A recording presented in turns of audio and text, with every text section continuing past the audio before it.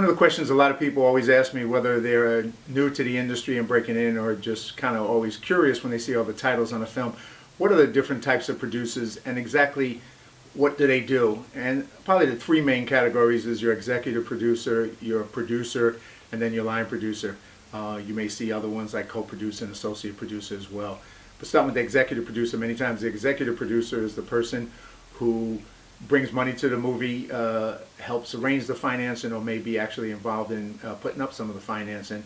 Your producers tend to be the ones who are the creative producers that they get involved in either optioning the script, being involved in the whole creative uh, design of hiring the director and making the decisions on the casting and trying to create the uh, creative uh,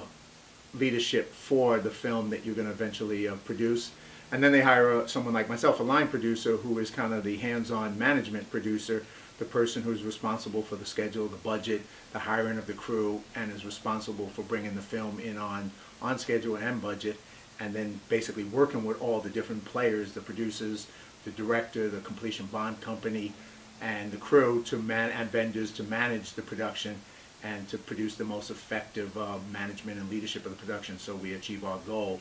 and the goal that's set by the director and the producers creatively.